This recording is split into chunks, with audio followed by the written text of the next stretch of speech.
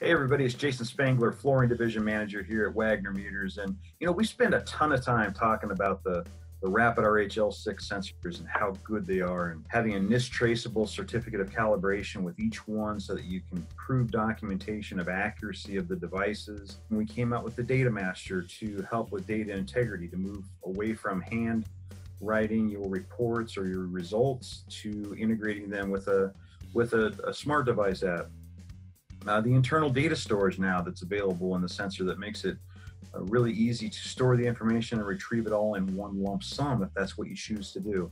But the one thing we don't spend enough time about or talking about is the entire system that we've really tried to think of a lot of different things to tie up the circle of responsibility and make it much easier for the people that are using the product to use it appropriately and to be able to cover themselves as well as possible. The one piece we don't spend or don't focus on enough in that entire system is the metal disc. And so when you look at the metal disc, the metal disc is really intended to be used you know, you go through, you install the sensor, you get your readings, you finally figure out which way you're going to go. It's dry enough to install. You need a better adhesive or better, you know, or a moisture mitigation system.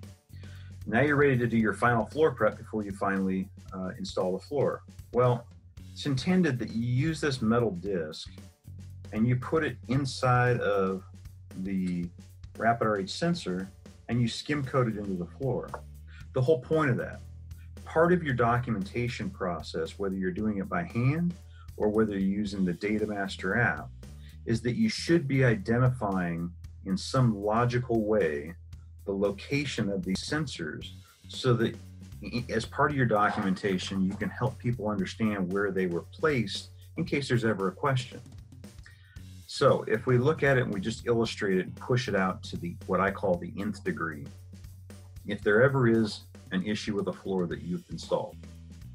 You've gone through, you've done all your moisture testing, you have the results to prove to somebody, you have, you know, an X marks the spot as far as where they were, things along those lines. You submit that information to whoever's requesting it. First thing they do is they look at you and they say, that's great, but how do I know that you didn't just make that whole documentation up sitting at the kitchen table this morning? I'm glad you asked because now you can take that piece of paper that has an X marks the spot somewhere in there.